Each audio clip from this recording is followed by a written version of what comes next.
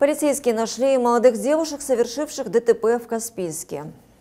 Инспекторы установили и доставили в отдел двух 17-летних жительниц Махачкалы.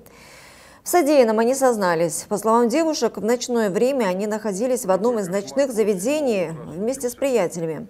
Мужчины изрядно выпили спиртного и заснули. В это время их молодые спутницы взяли ключи от автомобиля и уехали.